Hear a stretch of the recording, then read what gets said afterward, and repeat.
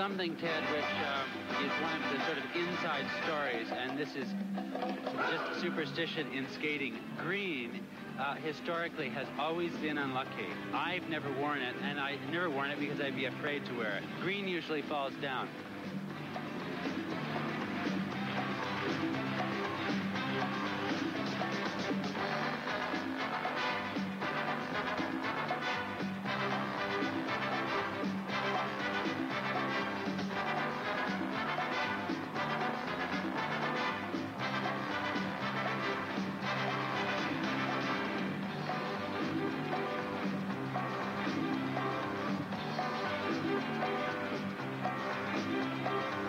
I think again that might have been a small glitch in the in the footwork.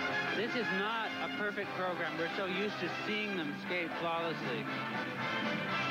But to be fair, there have been two Soviet pairs that, at least tonight, have outskated them.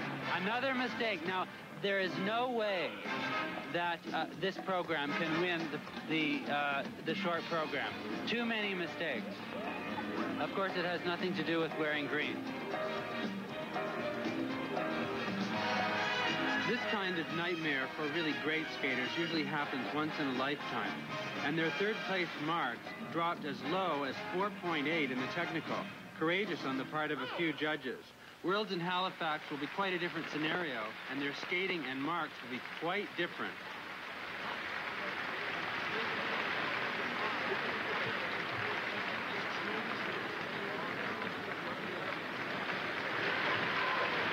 Lem, the door